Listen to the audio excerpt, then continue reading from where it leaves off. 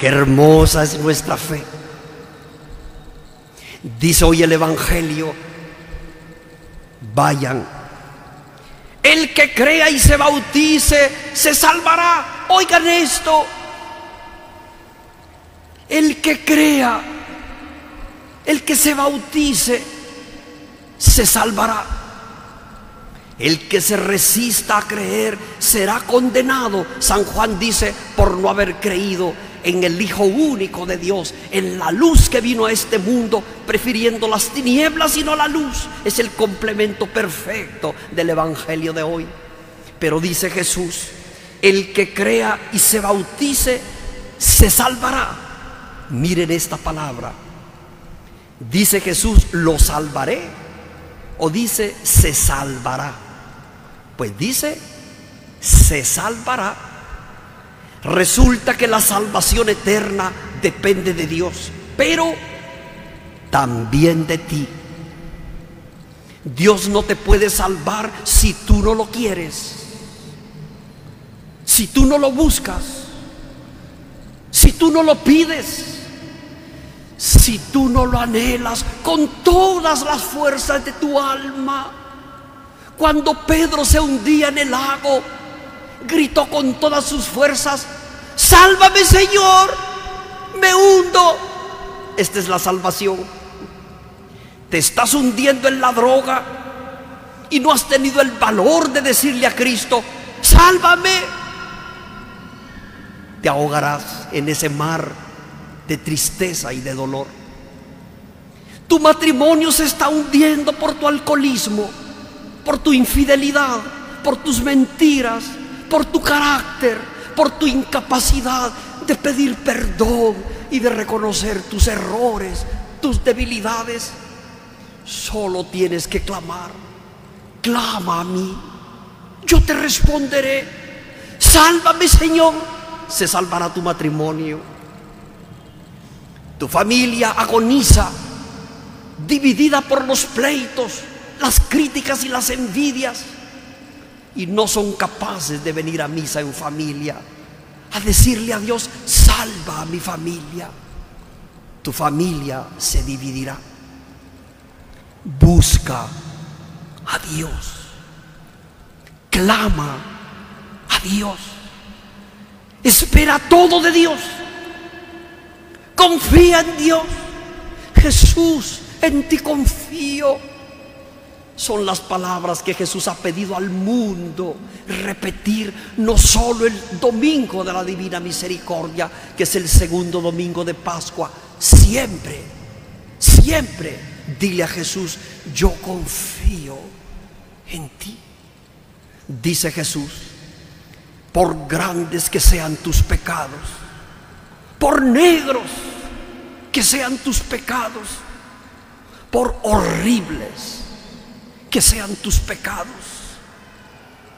Todos juntos los pecados del mundo, comparados con mi corazón, que es como un océano de misericordia infinita. Los pecados enteros del mundo son como una simple gota de agua que se consume en el océano de mi infinita misericordia. Este es el Evangelio que tenemos que predicar. Esto es lo que el mundo necesita escuchar para salvarse. El que crea se salvará. Tu salvación depende de ti. Tú debes buscarla. Tú debes ir a Jesús, buscar a Jesús, creer en Jesús. El que se resista a creer se condenará. Y luego el Señor confirma el apostolado y la misión de la iglesia con signos, expulsarán demonios, impondrán manos a enfermos y sanarán, beberán veneno y no les hará daño. ¡Qué maravilla! ¡Qué maravilla! Miren cómo la iglesia tiene en su mano el poder mismo de Cristo. Es que el que habla en nombre de Dios tiene el mismo poder de Dios cuando Dios lo ha enviado. Si Dios no te ha enviado, no puedes hablar de parte de Dios. Miren la segunda lectura de hoy. El formidable San Pablo dice, solo Cristo ha dado los carismas. Solo Él da el Espíritu y lo envía a la iglesia. Él suscita a los que han de ser pastores y maestros, a los que han de enseñar en su nombre y a los que tendrán los carismas distintos en la iglesia. Pero todos tenemos un carisma común. Por el bautismo somos hijos de Dios. Y por el bautismo somos evangelizadores y misioneros todos. Hoy quiero pedirles que asumamos la misión recibida el día del bautismo. Anunciar a Cristo. Vayan por todo el mundo. Prediquen el Evangelio a toda criatura. Y todos sabemos que hay dos formas de predicar. Como yo lo estoy haciendo hoy, abriendo mi boca. Y más que mi boca, mi corazón porque les puedo decir que mis palabras no vienen del aliento que hay en mi garganta y en mis pulmones, vienen del alma. Porque no les hablo de parte mía, les hablo de parte de Cristo que me ha enviado. Les hablo de parte de Cristo resucitado, de parte de Cristo que te ama y te ha congregado hoy en su iglesia, en su casa, porque te ama. Cristo te ama. ¿Cómo te ama el Señor? ¿Cuánto te ama el Señor? Ha dado su vida por ti. Alábalo y bendícelo siempre. Viva Cristo Rey. Viva la iglesia.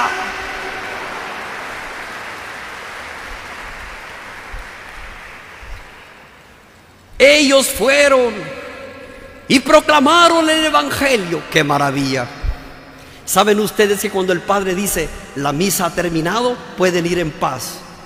Una señora dijo una vez, ay, qué alegría, con este gran calor, el Padre dice que puedo ir en paz. Ahorita me voy a acostar en mi hamaca. Y allí terminó la misa. Y yo la alcancé a oír y le dije, vaya a acostarse un rato en la hamaca, está bien, y tómese un agua de coco si puede. Pero el Padre lo que dijo no es vaya a dormir, Dice el Evangelio de hoy, ellos fueron. Esto significan las palabras del sacerdote. Pueden ir, pueden ir. ¿A dónde? A evangelizar. El que sale de misa debe dar testimonio de lo que ha vivido aquí. Más que con la palabra, con la vida. Ellos fueron y proclamaron el Evangelio por todas partes y el Señor actuaba con ellos y confirmaba su predicación con los milagros que hacían. Es un milagro que estemos aquí esta mañana. Es un milagro que nos congreguemos en la fe. Yo doy la bienvenida a los peregrinos. Aquí hay muchos que viven en los Estados Unidos. Son migueleños, unionenses, morazanenses, salvadoreños en general, que vienen a visitar el amor más grande de un migueleño después del de Cristo Jesús, del Sagrado Corazón de Jesús vienen a visitar a ella, a la que sigue haciendo tantos milagros por su intercesión maravillosa. Dios es el que hace los milagros. Pero cuando una madre lo pide, son más rápidos. Les conté que una vez yo quería ir al mar y mi papá dijo, nadie va al mar, es peligroso. Y yo fui donde mi mamá y le dije, no me quiere dar permiso, ayúdeme espérate, me dijo. Y se fue a hablar con él, yo no sé qué le dijo.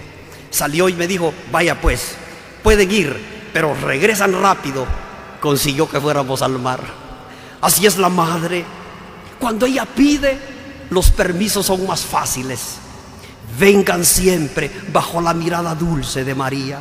Ustedes no tienen idea de las cosas que han sucedido aquí a los pies de esta imagen cuántos problemas resueltos, cuántas enfermedades superadas, incluso terminales, cuántas personas tomando decisiones fundamentales para la felicidad de su matrimonio y su familia, y todo aquí bajo la mirada dulce de la primera evangelizada y evangelizadora. Nunca se cansen de venir a los pies de la Reina de la Paz. Y antes o después de la misa, acostúmbrense, como siempre lo hizo esta diócesis, a pasar frente a ella, como un niño pequeño frente a su madre, un niño le dice, mamá tengo hambre, ¿verdad que así dicen sus hijitos pequeños? Mamá tengo sed, quiero comer. Mamá quiero ir al baño. Hasta eso dicen los niños a su mamá. Igual ustedes, díganle a ella, mamá, sálvame, intercede por mí ante tu Hijo, que es Rey de Reyes y Señor de Señores. Te recuerdo también este domingo que tú no estás solo. Cristo ha subido a los cielos solo para recordarte que tu destino final es Dios. Junto a Dios hay un puesto para ti si te portas bien. No los dejaré solos, estaré siempre con ustedes. Solo me voy a prepararles un lugar y donde yo esté, quiero que ustedes estén conmigo. Cuando les haya preparado un lugar, volveré y los llevaré conmigo para que estén conmigo. Esto es extraordinario. Nunca olvidemos que la solemnidad de la ascensión es confirmar que Cristo es el Señor y el Rey de Reyes y que donde Él está vamos a estar si nos portamos bien. Que Dios a todos me los bendiga. Gracias por estar aquí esta mañana. Que Dios los bendiga, que bendiga sus familias, sus matrimonios y sus hijos, sus ancianos y sus enfermos. ¡Viva la iglesia! ¡Viva Cristo Rey! Que viva la Reina de la Paz, nuestra patrona y madre. Viva la Reina de la Paz. Y que se oiga el aplauso a la Reina de la Paz. Reina de la Paz.